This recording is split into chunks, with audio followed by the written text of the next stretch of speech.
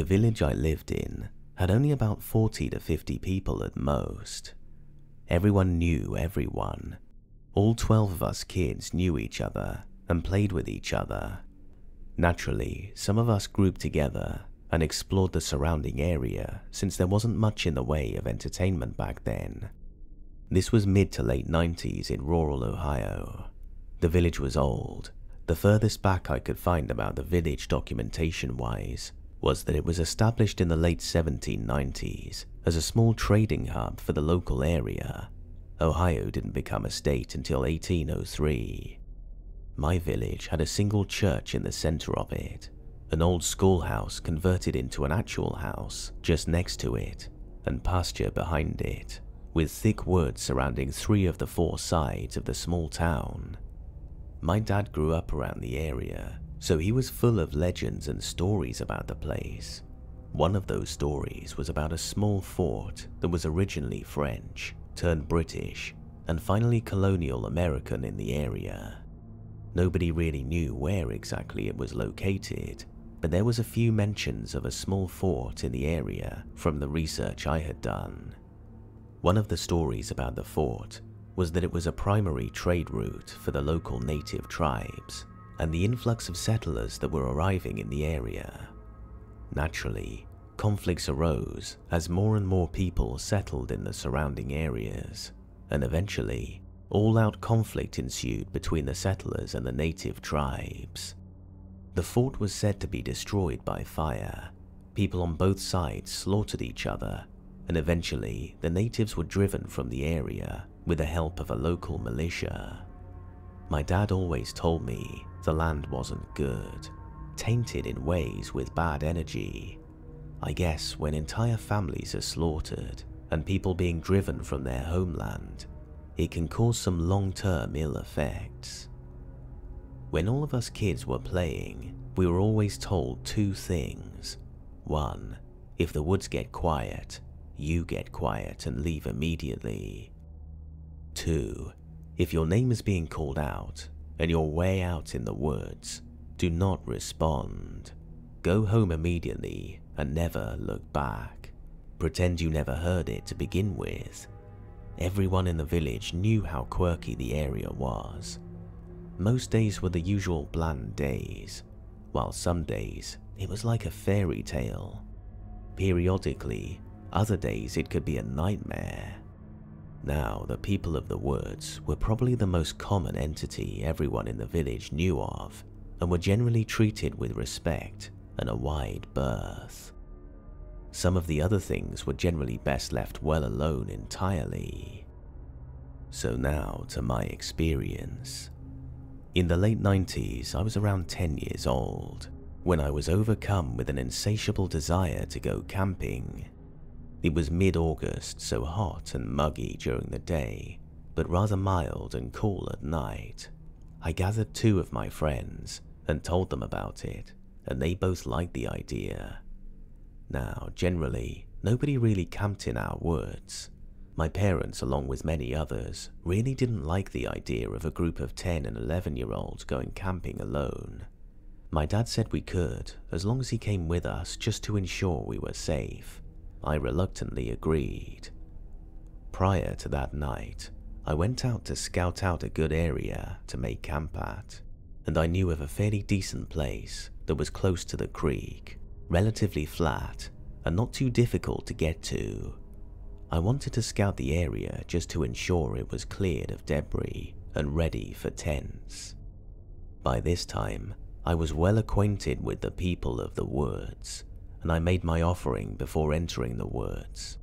I didn't see them while on my journey or anything, so I felt pretty good about that. Once I arrived at the location, I began moving things around, clearing out the sticks, large stones and making a fire pit, even going as far as stocking it with wood and throwing some larger sticks nearby for fuel later. I was so enthralled in what I was doing and so focused on getting the area cleared that by the time I was satisfied with what I had done, I had just noticed just how quiet everything around me became. When I say quiet, I mean dead silent. No birds, bugs.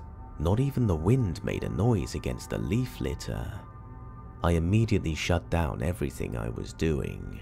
I stood there, looking around, slowing my breathing, and just trying to listen for the faintest sound I could. I don't know how long I was stood there motionless, a few minutes maybe, and then, in the far distance, I could hear a crow call, and almost immediately I began hearing the chirping of robins and even a faint whistling from the wind in the trees.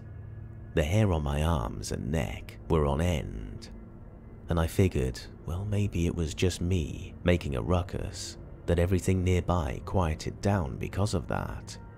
Content with that logical reasoning, I began making my way back home to pack up for the night.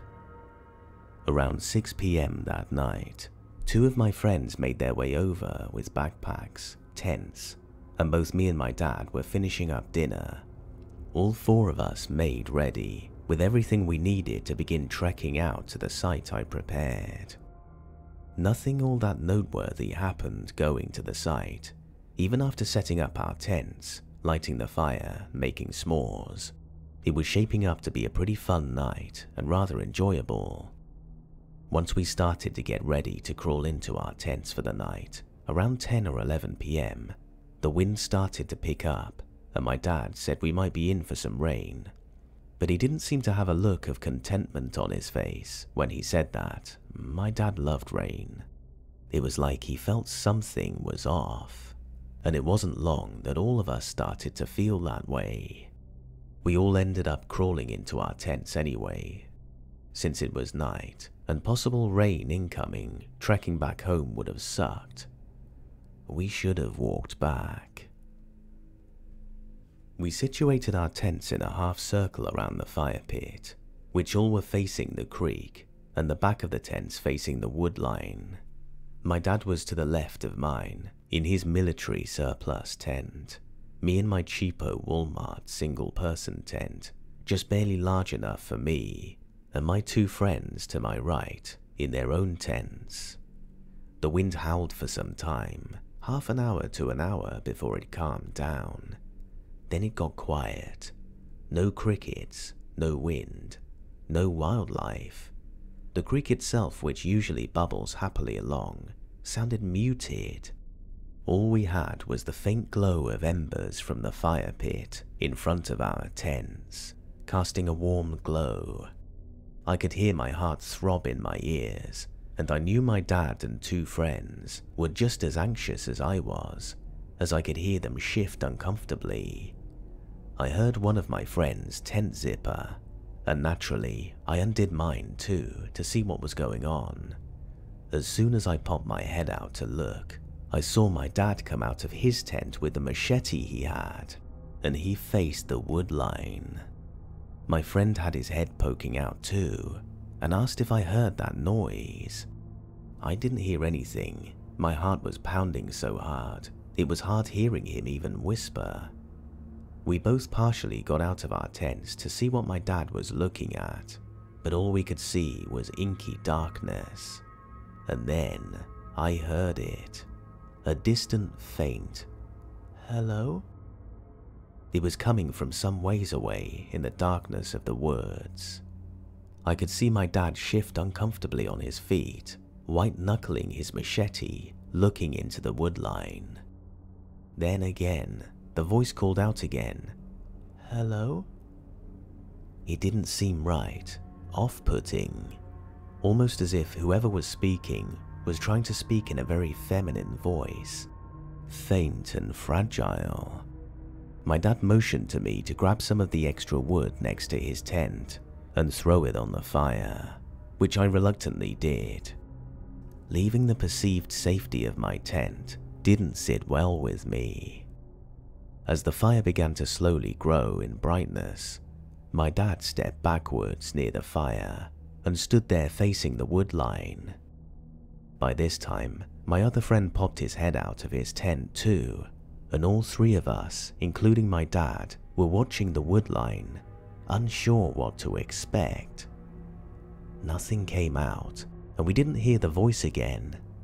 An hour passed, and by this time, my dad was sitting on a large stone next to his tent, one leg crossed and a machete in his right hand, watching silently. Only the sound of crackling fire echoing against the shale cliff face across the creek. Several hours passed, and both of my friends went back into their tents. Only me and my dad was out.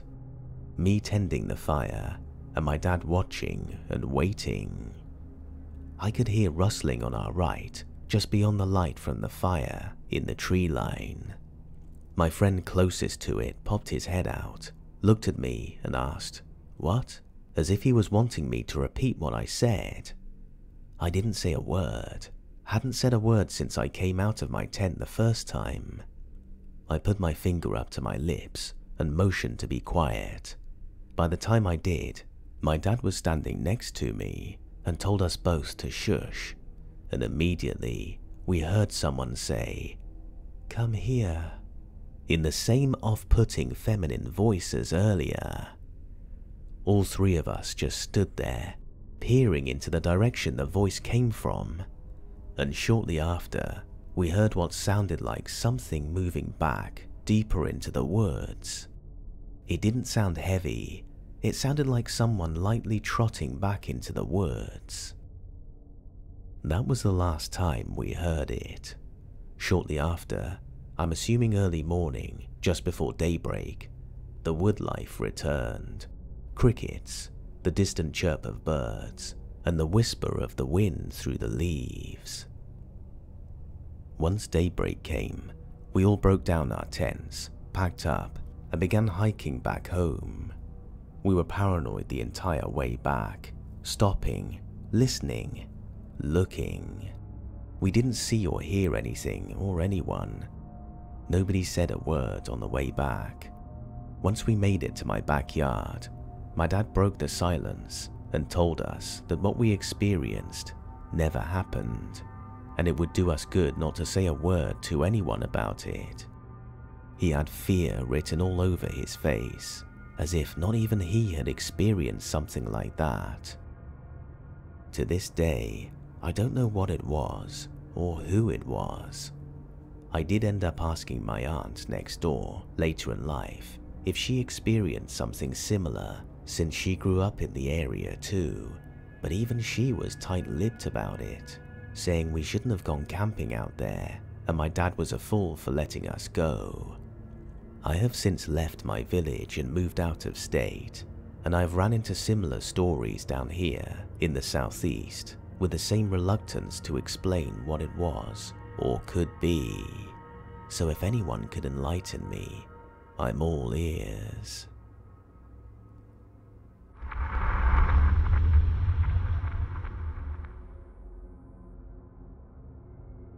I was recently discussing ghosts and sharing ghost stories with my best friend, and remembered this strange experience I had during outdoor education camp in 6th grade.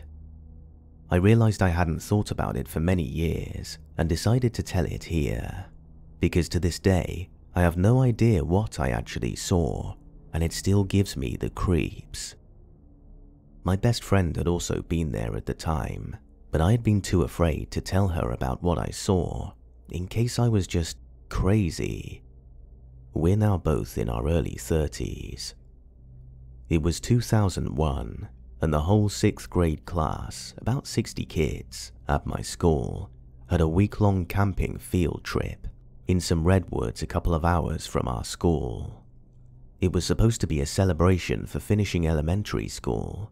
Basically, it was a week of swimming, hiking, crafts, and adventure. It was great fun. On one of the last nights we were there, the camp aides took us on a night hike into the forest. There was about five to ten camp counselors or teachers with flashlights, and the students got little glow sticks to hold. We first gathered in a larger soccer field to get directions and organize our group. It was very dark, and we could see all the stars in the sky. We were surrounded by thick, dark forest. As I marveled at the nature around me, I saw something white flitting about in my peripheral vision. I turned to see a strange, rapidly shifting white entity. It seemed like it was glitching, the way it was sort of blinking in and out of existence. It was almost pitch black outside, yet the figure seemed to be internally lit with sparks of energy. Thinking it was my eyes adjusting to the dark, seeing floaters or ocular debris, I rubbed my eyes and blinked. I looked straight at it, expecting it to disappear, but it didn't. It actually seemed to become aware of me looking at it, as it moved back into the trees a little further when I continued to watch it move about. When I looked away, I could still see it in the corner of my eye start to come closer. It emerged from the perimeter of the forest. At first, it looked like a humanoid diaphanous figure then it morphed into a wolf-like figure, running on all fours, quickly. There was a good distance between me and this spirit, but I still was scared and felt sick to my stomach. I thought I was going crazy or something was wrong with my eyes. At the time, I didn't believe in ghosts and had only a couple of spooky encounters, like cabinets slamming shut randomly up until then, I always felt that there was a logical explanation for everything. Anyway, we finally began our hike. My best friend was right next to me, but I told her nothing of this creepy ass shifting transparent creature thing in the forest. The thought of her not being able to see it, or thinking I was crazy, was too much of a risk. To my relief, we turned away from the side of the forest where this thing was and start to enter the forest at the opposite side. The trail was very steep. We hiked in a long line with camp aides at the front, middle, and back of our group. I was somewhere in the middle. After 15 minutes or so of hiking, I remember feeling a prickling sensation down my spine and my stomach churned. I glance behind me, and that's when I see the forest thing at the very back of the line, following us, or me. Although there were still lots of kids in line, separating me and the ghost, it was so much closer than before when I had seen it in the woods by the field. It now had a distinctly humanoid form, although its edges seemed blurry and in still constant flux it had no face, and if I stared at it directly, it would fade somewhat, but not disappear. Unlike before, when looking at it peripherally, it became much more solid in form. I was scared witless, but said nothing to anyone. I decided my eyes were still tricking me. Once we got to the top of our destination, it was time to turn around. I saw the figure still hanging around the end of the line. The front of the line doubled back, and to my horror, I realized I would be forced to pass by this figure. As soon as I got within 15 to 20 feet of the figure, it dissipated like steam or smoke right in front of me. I never saw it again. I didn't sleep that night in the open air cabin and was very relieved when we were going home the next day.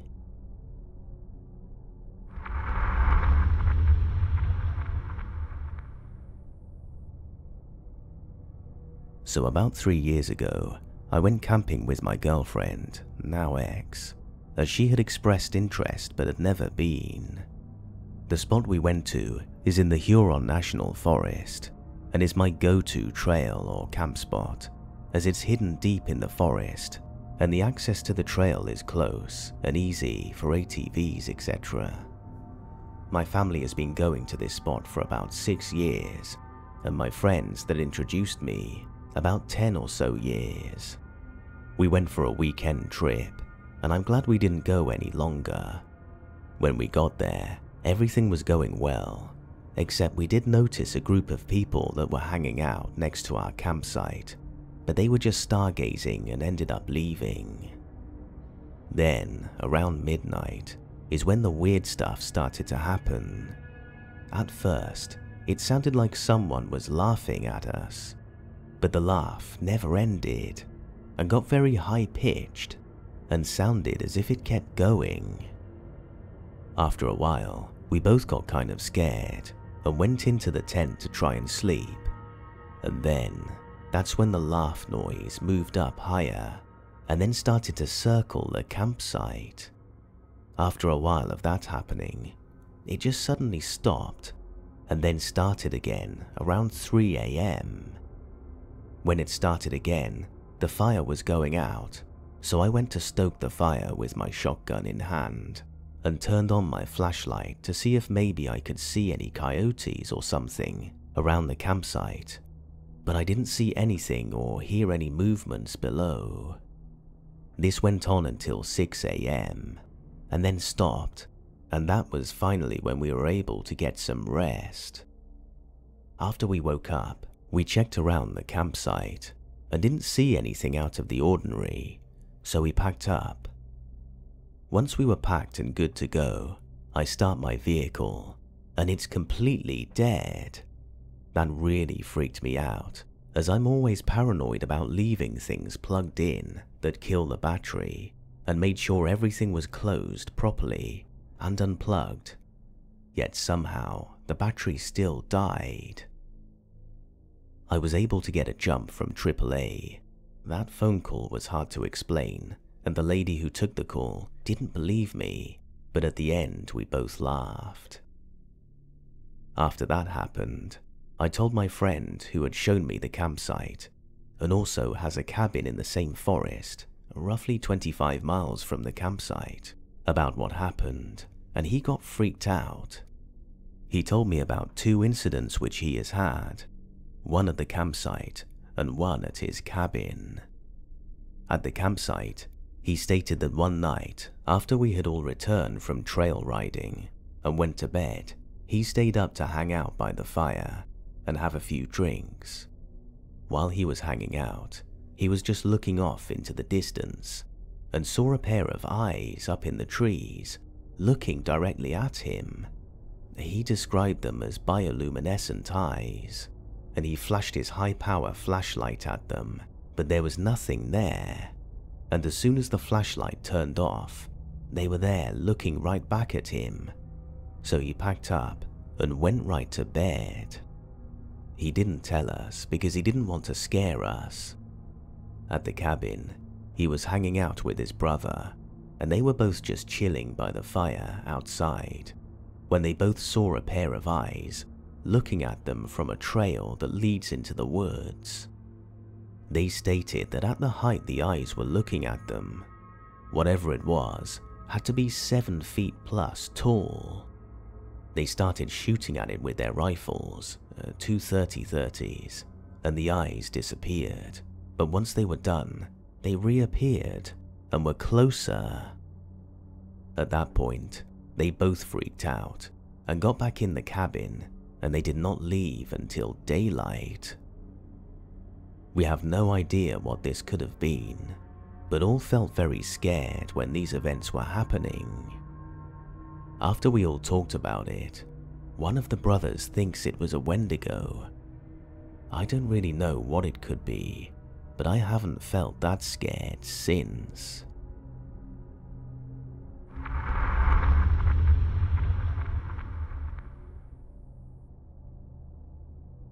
This happened in August of 2018.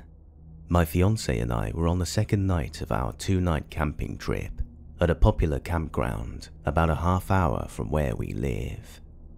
For reference, my fiance is black and we live in a predominantly white, conservative, and racist area. This is important later. Our first night, we kept hearing noises in the woods around us. The campsite right beside ours to the right was occupied, but the one to the left was not. The campsites are about 150 yards apart, and we had camped here in the exact same plot a year before. Needless to say, we were familiar with the area and the various kinds of animals that lived in the woods. The first night, we heard shuffling around our tent. It was obviously something large moving around. We brushed it off and assumed it was just a deer. Now, back to the main event. On August 11th, we spent the day at the battlefields, a town over, with my family. They had all been invited to join us for the day by my fiance as a surprise for me while he proposed to me. We stayed with my family into the evening, about 6 pm, before heading back to our campsite. When we got back, things were really odd. Someone had obviously been in our tent. Our blankets were thrown around, clothes were on the floor, and my backpack was rearranged, and I was missing underwear. But hey, we were stupid 19 year olds and decided that since whoever had busted in had left and hadn't taken anything important, it was fine and they wouldn't come back.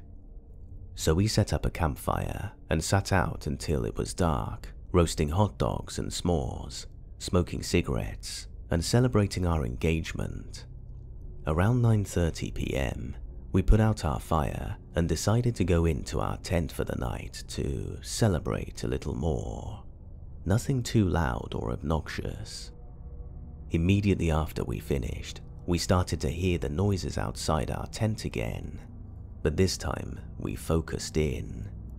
We heard clear footsteps, and at one point, a man whispering. We looked at each other, and our eyes got wide. Someone was definitely walking around outside our tent. We were still completely silent, just listening to the footsteps, and we heard whispering again. Crap, make that two men walking around our tent. As if we had the ability to read minds, my fiance said, I have to go to the bathroom, and I agreed. The bathroom was up a hill from our site. Most people who were in the lower sites, like ours, drove their cars up to the bathroom. Now, here's the part I still get chills thinking about. We got up and we were getting dressed. My fiance had just turned on the light in our tent and put his binder on when a man spoke directly to us from outside the tent. What are you doing? I can't even describe how malicious and menacing this voice sounded. It was clearly directed at us, and he said it with a snicker. He was watching us through the walls of the tent. Again, for this part, we were stupid 19 year olds, so we decided to just run for it to the car. My fiance grabbed his pocket knife and his keys and stepped out of the tent. He pulled me with him and we ran like hell to the car. I heard the footsteps running behind us and then turning and then running up to another campsite. At the bathroom, we talked over our options. We talked about sleeping in the car or driving into town. Then we had another idea. We drove back down to our campsite and began packing everything into our car. At this point, it was around midnight. We moved faster than I think either of us thought possible. Wrapped up the tent with our belongings still in it and grabbed our folding chairs. We were all packed in five minutes and hopped into the car to leave. I jumped out at the end of the drive and grabbed our nameplate, which had my full name on it, off of the post. As we pulled out of the campsite, we saw our assailants for the first time. Stalking through the woods onto our campsite were two tall white men. I realized that these were the same men who had been driving past our campsite the whole time we were there just glaring at us and muttering to each other. One was wearing camo hunting gear, and the other was wearing a Confederate flag tank top. Both were carrying large hunting knives, unsheathed and at the ready. They turned when they saw our car driving away, and one started to make chase until the other stopped him.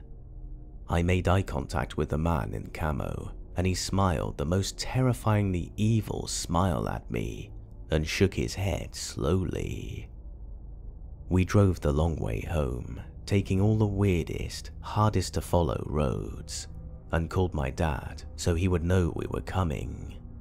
When we got home, we told my dad everything, and he shrugged it off as us being paranoid, so I never told anyone else until now.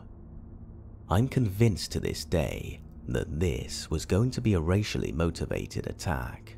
The campground was not heavily populated, and my fiance was the only non-white person at any of the campsites. It was no accident that the two men who had been shadowing us since our arrival and wore Confederate flags and had one on their truck decided to target the interracial couple. I still get cold chills when I think about how close we were to being killed or seriously hurt that night, and just how lucky we were that our reckless plan to just make a run for it worked. So to those men who stalked our campsite with the hunting knives, let's not meet.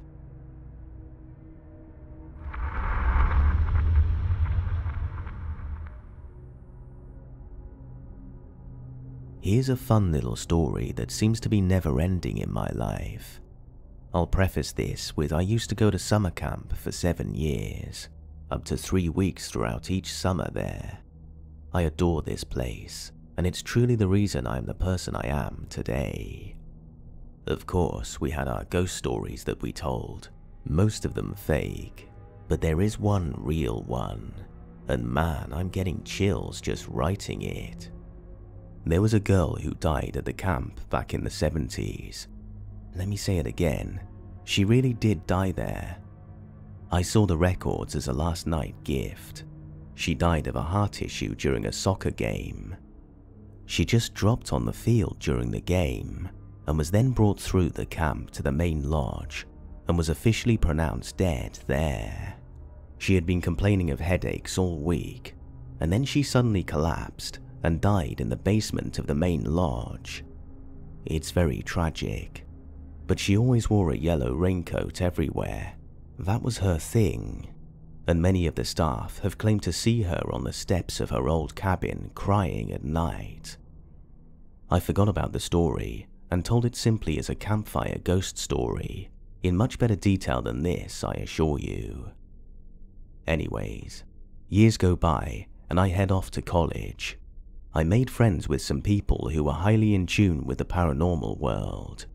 I go to college in a completely different state, seven hours away, but my one friend was able to distinctly describe to me how this little girl looks out of the blue and how the camp looked overall. I had never told her this story prior to her description. My friend told me this girl had attached herself to me my assumption is that I keep her memory alive, and I know her name, though I will never speak it. It's been over a year since that night, and ever since, I can see her sometimes at night. She'll either be standing in my bathroom, just observing, or standing somewhere, and I never get an overly negative feeling. But it's not positive either, and I've gotten used to it. I moved into a new house this year, and I hadn't even seen her in quite a while. But the other night, I woke up at 3.37 am. I looked over to a chair in my room, and I saw her sitting on the floor crying. I just looked, felt the sadness, and went back to bed. I didn't want to give that attention, and I've been thinking about this ever since.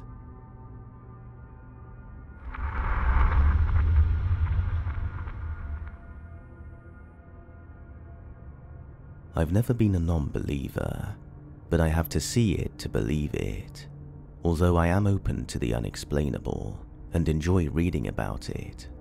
I also love when something is debunked. I have always found the scariest things to be people. This experience might have something to do with the way I perceive things now.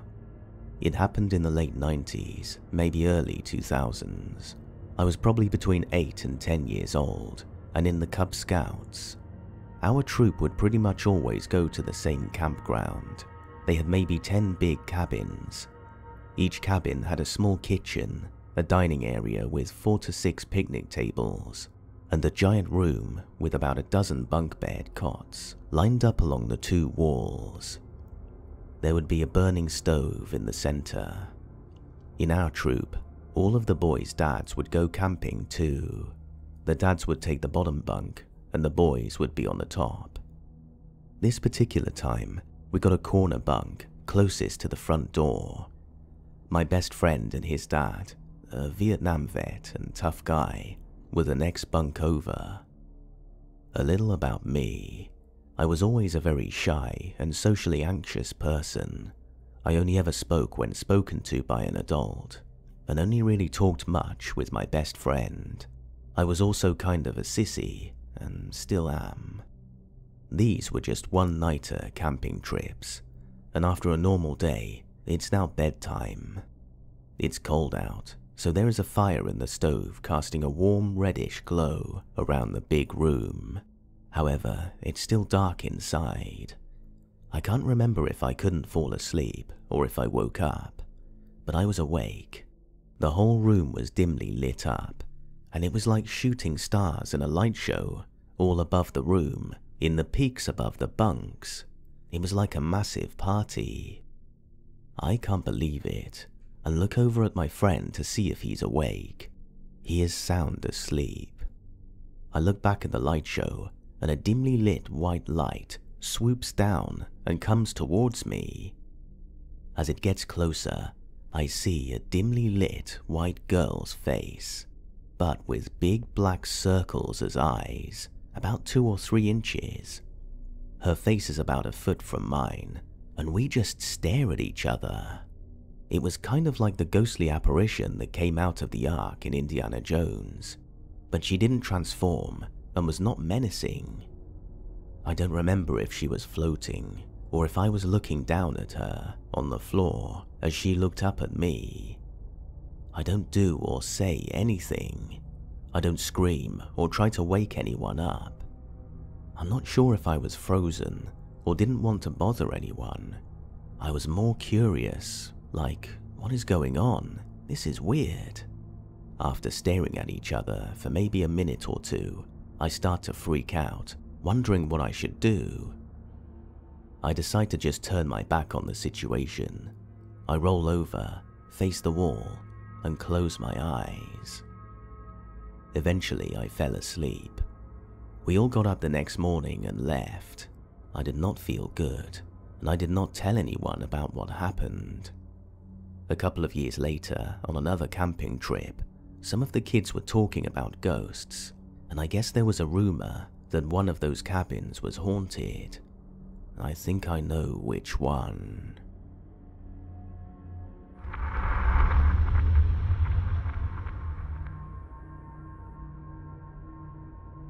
I'm a 25 year old female, and at the time I was 16 or 17. My then boyfriend and two of our other friends decided to go camping in a small patch of woods next to a neighborhood that was being developed. And this small patch of woods was roughly 900 feet across both ways. On the left side, if you were viewing it from the road, was the undeveloped neighborhood. No people living in the houses, they're mainly just wood and no windows or actual walls. And on the right side was a mile long driveway that led up to a house a little over half a mile past the patch of woods. Pretty deserted.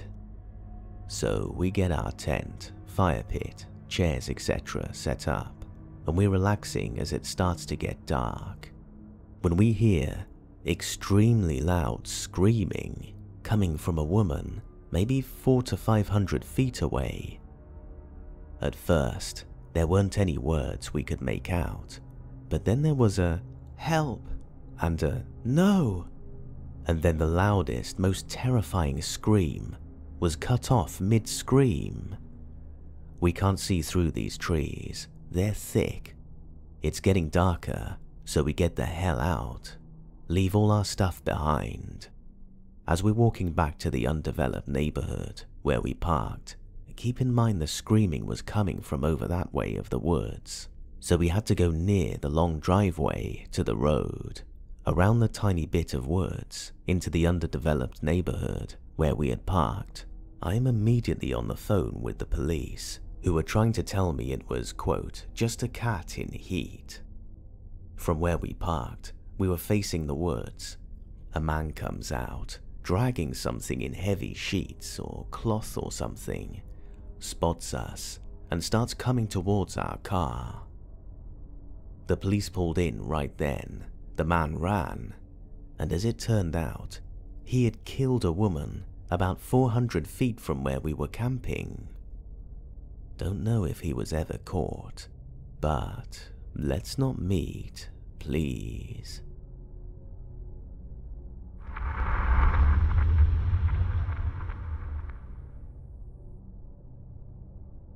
Back in 2011, I was within a circle of friends that made it a tradition to go camping at a certain spot every May long weekend. The spot we chose was in a beautiful area, right on the edge of a large lake, and was located on government land. The lake itself had a dam on it, so during May long, the water levels were always low, if not completely empty, making it possible to walk across it. People were allowed to camp there as long as they weren't causing trouble or making a mess, and it was generally a good time for everyone.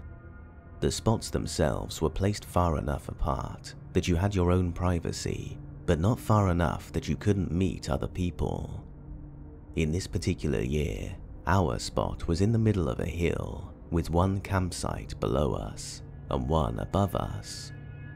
The first night of our trip happened without incident. During the second day, the people staying at the site below us had moved in.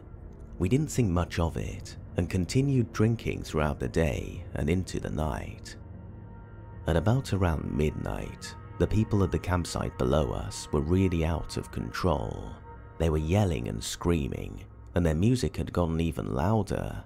So our friend Ben went down to ask them to turn it down. He was promptly punched in the face, and he came back to inform us that he was 90% sure they were on drugs. After that, the vibe wasn't as relaxed, and we were all somewhat on edge. I was feeling really tired, so I just decided to go to bed. Some of my friends were still awake, including Ben, and one couple, Lily and Derek, that were visiting another campsite we had made friends with that day. I could hear that the campsite below us was still blasting their music and partying pretty hard, but I just tried to ignore it and go to sleep. I don't know what time it was when I was jolted awake. Parts of this are somewhat of a blur. All I know is that I sat straight up as soon as I heard the screaming and yelling coming from outside my tent. I quickly ran outside to find our campsite in chaos. One of my friends was clutching their chest. People were running around and screaming to call 911. I was quickly informed of what happened. Apparently, not long after I had gone to bed, the people camping at the site below us decided they weren't finished talking to Ben, and on their way up, they had encountered Lily and Derek walking back. Now, Derek and Ben are about the same height and have the same colour hair, so they assumed that Derek was Ben and bottled both him and Lily over the head with a full glass bottle. I don't know if it was the same guys that showed up at our campsite, but I was told that everyone else was sitting around the fire when two or three huge guys appeared from the darkness and walked over to them. One had a paring knife and the other had a butcher's knife in their hands. Ben saw the knives and had gotten up to talk to them and had barely spoken a word while the guy with the paring knife stabbed him once in the chest. At the same time, some of the people of the campsite above had seen the guys coming and came down to help. One of the guys, Tim, was coming down the hill when the guy with the butcher's knife ran up to him and stabbed him in the stomach. From there, sheer panic ensued.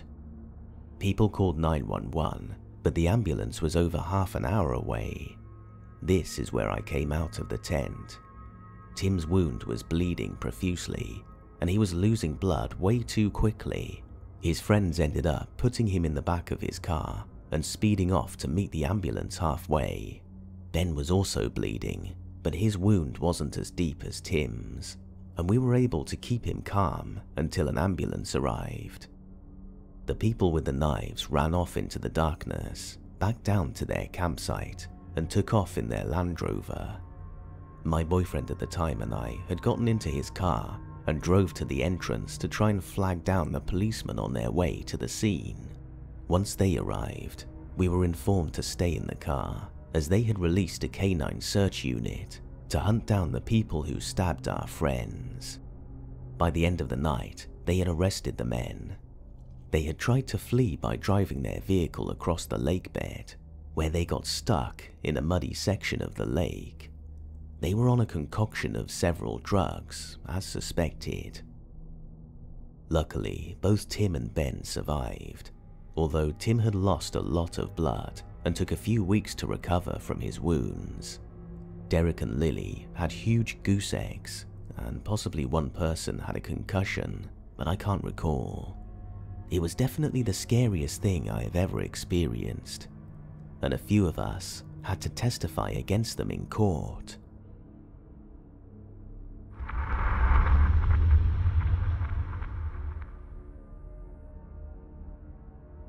My husband and I went camping for the first time ever in Arizona as part of our long trip out west. I had picked out this really cool place that was on a mountain overlooking a beautiful landscape. It's next to a cliff and in a really isolated location. I'm talking like 20 miles out on gravel roads in the middle of the national forest.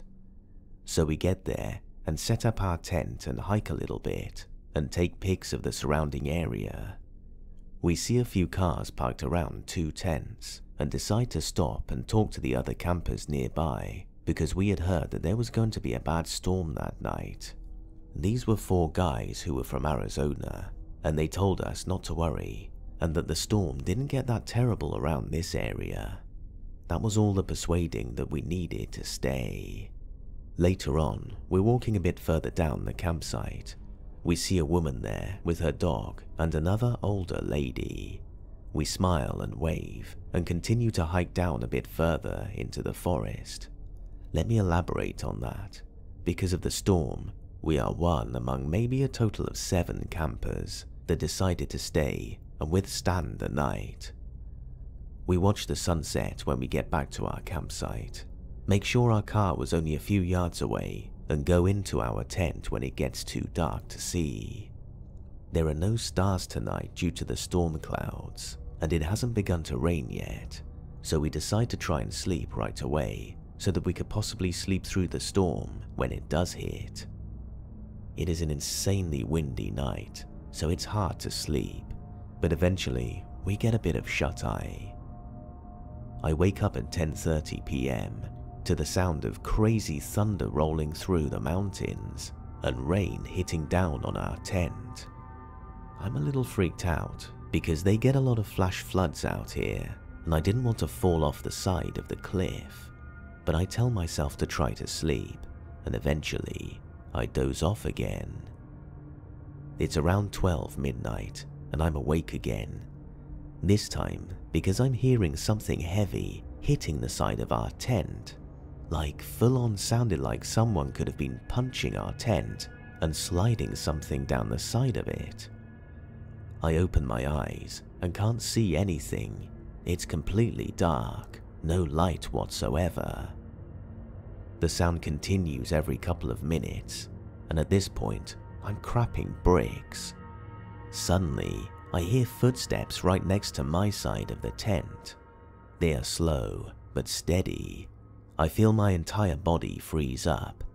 I seriously start thinking about how this is it and I'm going to die. My heart is beating so fast that I'm certain whatever is out there can hear it. Then, whatever it is, lets out a deep sigh right on the opposite side of the tent.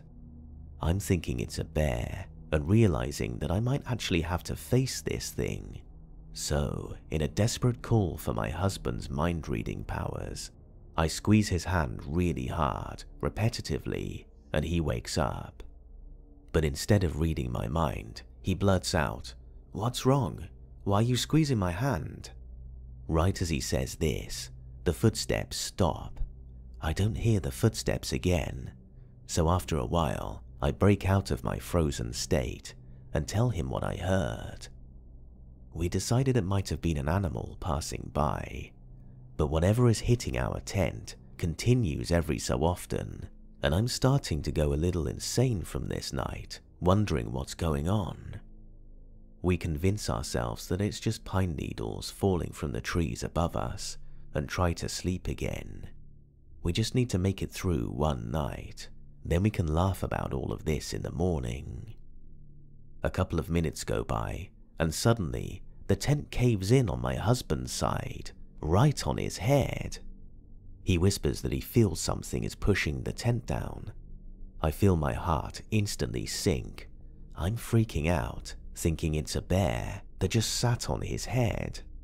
But he decides to push back, and we hear the familiar noise of something sliding off our tent that we've been hearing for the past few hours.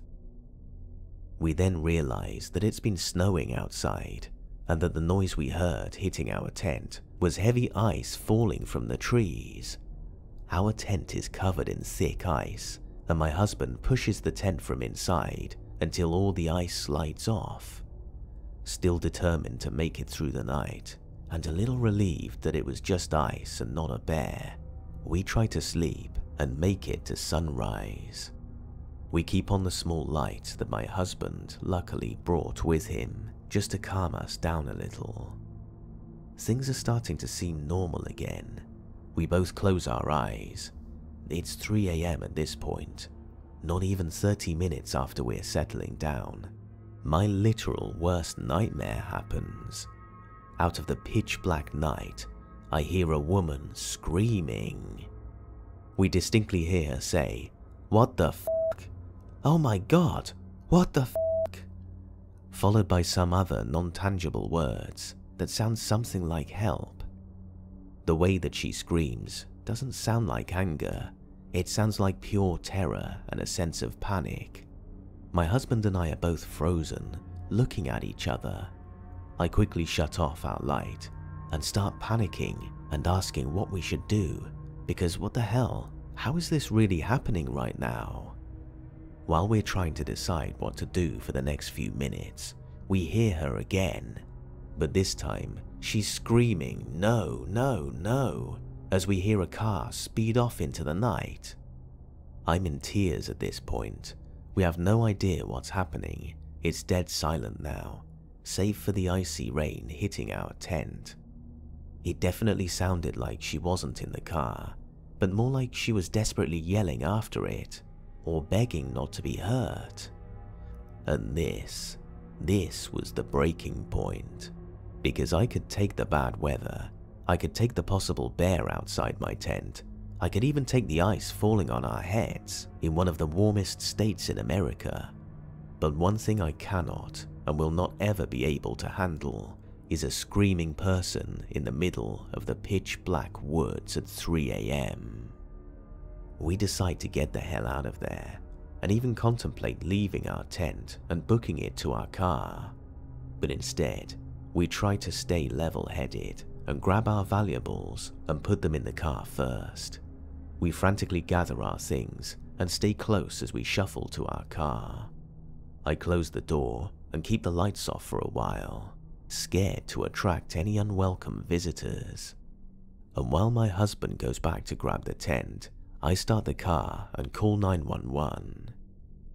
I tell them what I'd heard and where we are, and they say they are sending someone to the campsite to make sure everything is okay. Only thing is, we are literally in the middle of nowhere, and it will definitely take them more than an hour to arrive. Not to mention, the storm left those gravel roads in some pretty terrible conditions. So my husband and I decide to start driving, and it's like 3.30am now. As we drive out of the campsite, my husband notices one last eerie detail that stuck with me. The four guys that we had talked to earlier had left. All three of their cars were gone, while their tents remained. Whatever scared them off, they surely left in a hurry. It was only after we started driving that the thought occurred to me Whatever was walking next to my tent may not have been an animal. It very well could have been someone lurking around the tent who decided to go after the girl we had seen previously on our hike. I'm not quite sure what went down on that lone mountain that night, and I hope that everyone got out okay. So, whatever was at our campsite that night, terrorizing us all, let's not meet again.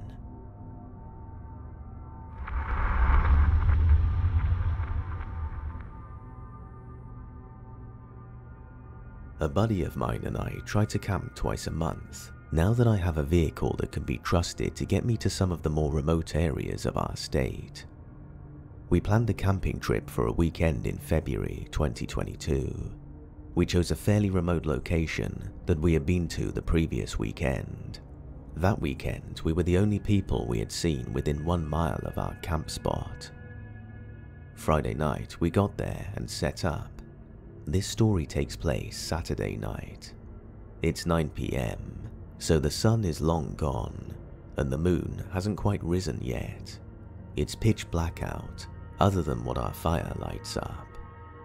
Suddenly, we hear a man screaming. We listen intently, silently sharing an anxious look. At first, we were hoping it was someone drunk and having a little too much fun, but it quickly became obvious this isn't fun party screaming. It isn't even like he's hurt. It sounds full of despair, anger, and anguish. I'm going to take a moment to remind you that this is 9 pm, pitch black night, in the middle of nowhere woods, five miles from the nearest cell phone signal. We hadn't seen anyone in hours. The screaming continues for what felt like hours, but probably about five solid minutes. We had no idea what to make of it and start feeling extremely paranoid. We gather up anything remotely close to a weapon and tried to come up with explanations of the screaming while keeping our eyes on the forest around us. After about 15 tense minutes of fear-induced paranoia, I nearly fell out of my seat as I watched a flashlight and lantern slowly enter our camp. I greeted the stranger with a basic, how's it going, before he was even lit up by the fire. He responded quickly and flatly by asking if we could do him a favor. That depends on the favor, my buddy and I said in unison, obviously tense, holding our weapons close to us. The stranger proceeded to ask if he could hang out for a second by the fire. Given the two of us and one of him, plus our myriad of weapons gathered from around the camp to within our arm's reach, we decided to agree and let him hang out. After a short second of awkward silence, I ask him what the hell is going on. He proceeds to tell me and my buddy that he was camping down the trail with his buddy, and that his buddy had snapped and tried to kill him. Wait, what? I said, before the thought even finished processing in my head. Is that the screaming we heard earlier? The man slowly nods, staring blankly into the fire, and began his story. He said, We were just hanging out, man. We came up earlier today, and my buddy just freaked out. He started screaming and screaming, and just wouldn't stop. Then, he attacked me. He lunged at me and I told him to just back off and chill, you know? Well, he kept coming after me, and it started getting pretty violent, and I'm pretty sure he was going to kill me. So I grabbed my car keys, the lights, and ran. I don't know what to do, man. He chased me when I ran, and I don't know what to do. We don't have any firearms or anything, but we do have a hatchet. My buddy and I look at each other for a second, completely astonished. Then, something horrible dawned on me. Wait, he chased you? Like he's on his way here? Right now?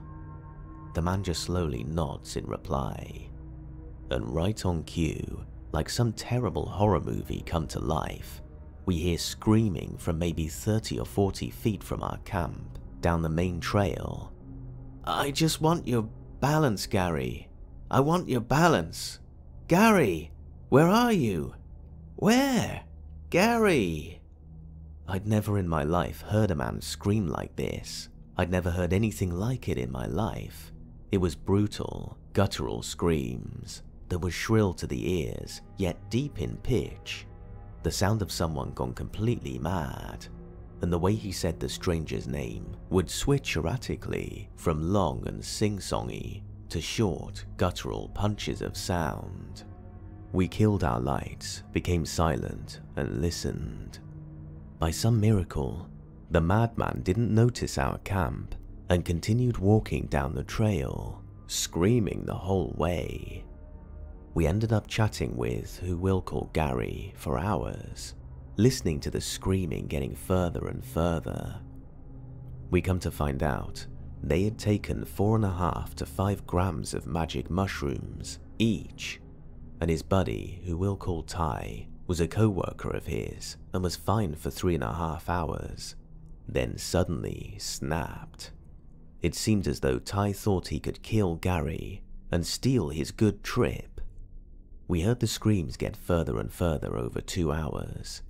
By this time, it's 11 pm, the moon is starting to come out, and it's below 30 degrees Fahrenheit.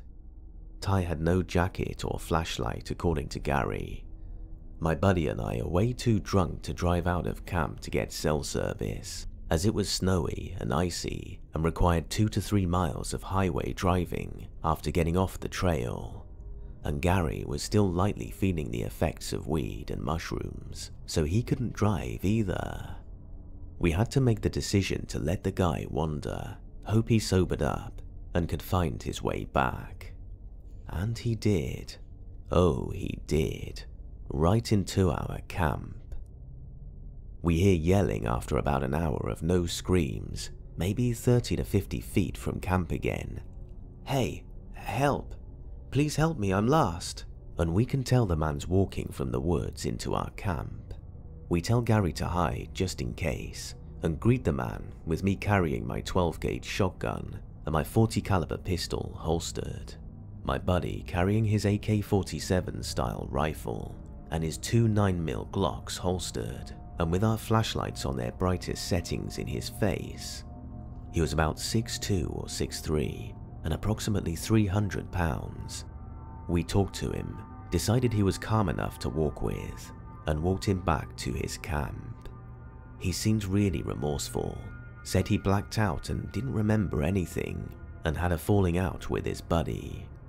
We escorted him back to his camp down the trail, returned, and told Gary that Ty seemed cool, and if anything else happened to scream and come running, we would come out and help him out. It ended up being a happy ending.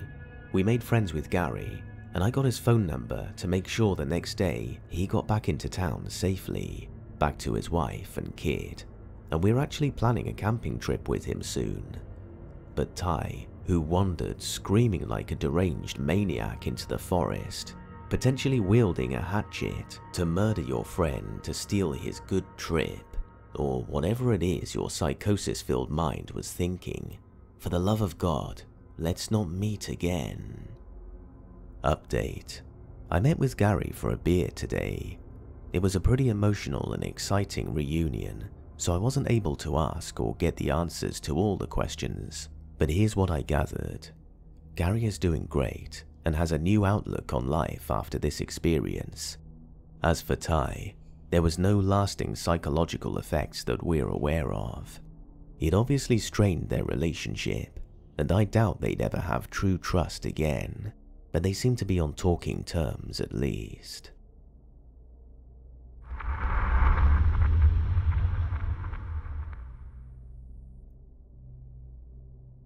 Years ago, my parents bought a piece of land in the southwestern Colorado prairie near the Huerfano River, deep in the middle of nowhere.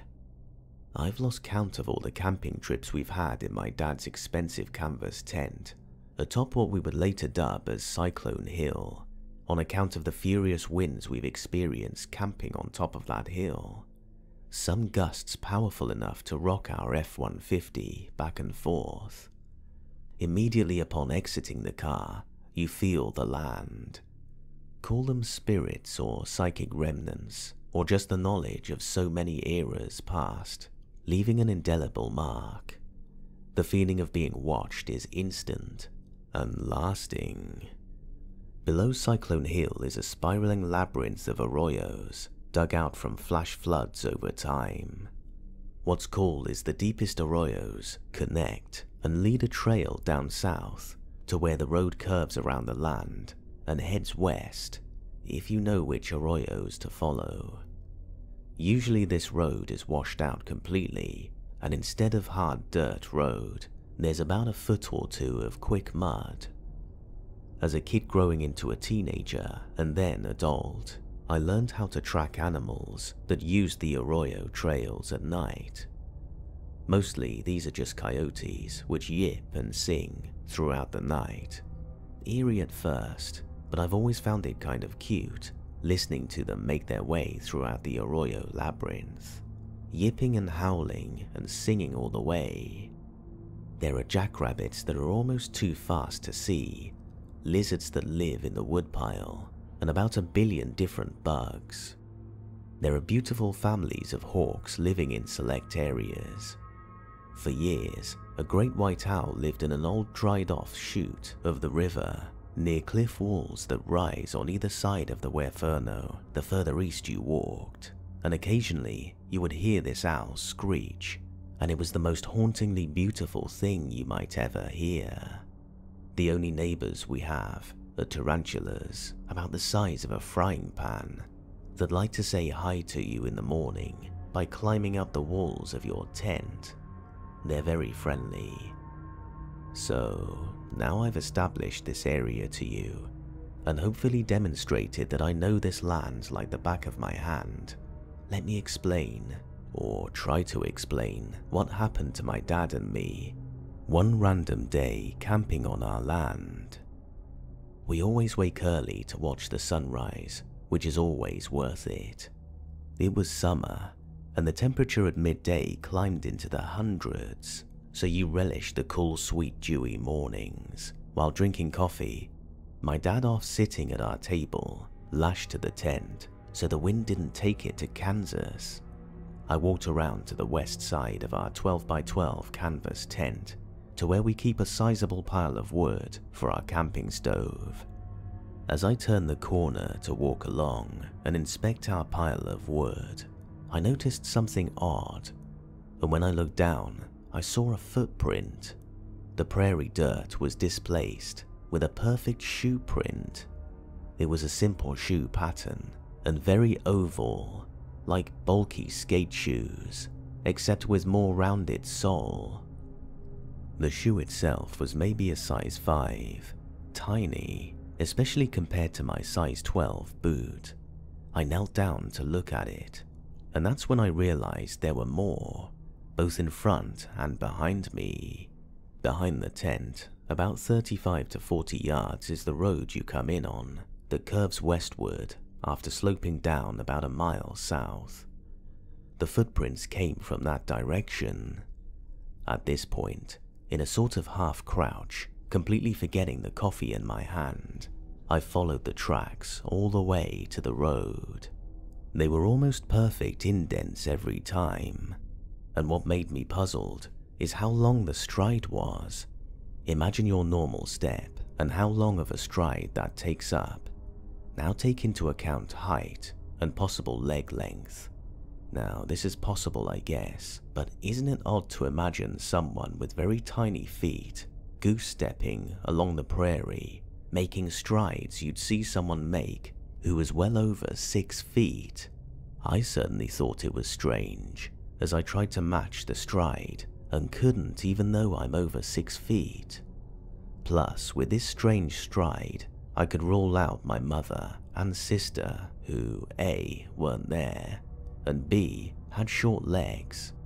Nobody else came here.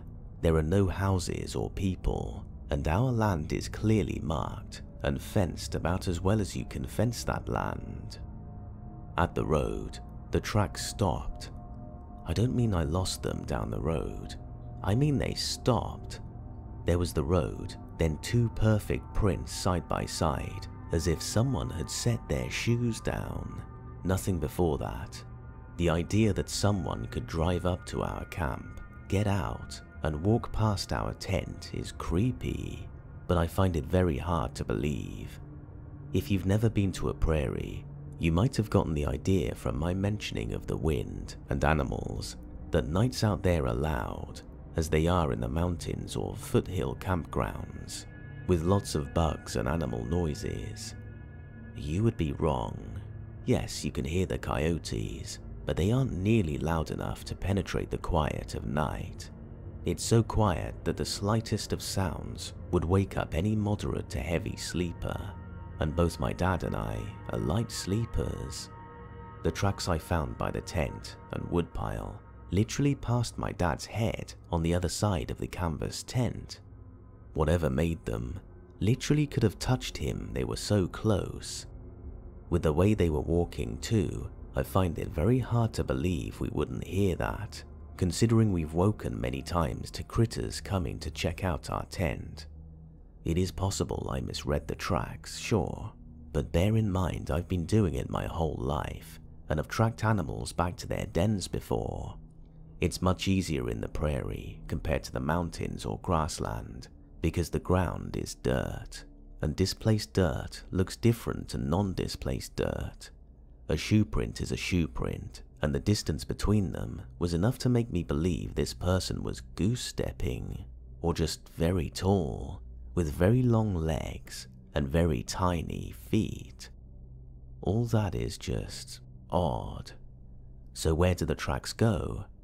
By now I've informed my dad and showed him everything I've found up until that point, including freaking him out some by pointing out how close the tracks were to him, separated by just a sheet of canvas.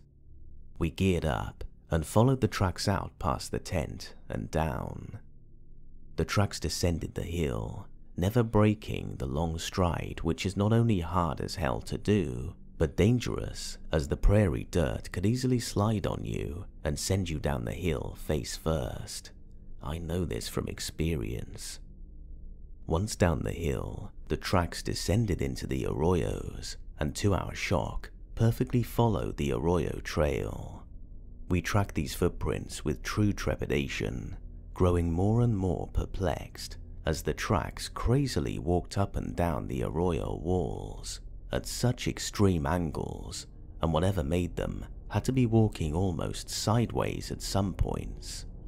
When we reached the road and the washout, we found the tracks stopped once again, just as they had appeared at the top of the slope. Only now we would be able to tell if a car passed through here and picked up Mr. or Mrs. footprints, but there weren't any car tracks. The washout was nice and flat, free of any human-made tracks. This freaked me out. It's not possible that you could pass through this area and not leave a mark somewhere. I made a search in winding loops from the center of the washed out road, covering at least a hundred feet in every direction, picking up the original tracks that led to the dead end and not finding them reappear anywhere. They were just gone. I put my hand in the last two tracks both feet again side by side, like someone had taken their shoes off and stuck them in the perimeter of the mud to make two perfect prints. They were still soft, pliable, and the mud hadn't hardened yet, still wet from the evening before. We pushed onto the Huerfano, all the while our eyes fixed on the ground, trying to find even the slightest hint of track. There was nothing. Whatever it was, its tracks appeared on our road somewhere between 11.30ish when we went to bed and 4.30 in the morning when my dad woke up. They walked past two grown men who were both light sleepers, passing mere inches by one of their faces, then proceeded to goose step down a hill, down into the arroyos, and run up and down the arroyo walls as it marched on down to the washed out road it had just been on, only to then disappear again, all in the middle of the night, in the middle of nowhere, on a random summer night. To this day, I think about those prints and really wonder what they could have been. The skeptic in me is just as puzzled as the believer side of me. I really have no idea how or why this small footed, long legged person or thing just casually walked past our tent down into some arroyos, which at night are dark and spooky as hell, and then disappeared back into the night it came from. I've discussed it with my dad, and he holds the opinion that it might be a good thing we didn't wake up and see whatever the hell was out there, because while we've never felt afraid down there, that day we did. In all the years before and since, we've never had an encounter like that. And while we have had other weird things happen to us down there, involving voices on the wind and other weirdness, nothing tops that for me. And at night, when I'm all alone, lying in bed thinking about this, I can't help but wish I had seen it, whatever it was. Because the mystery of it will confound and thrill me until my dying day.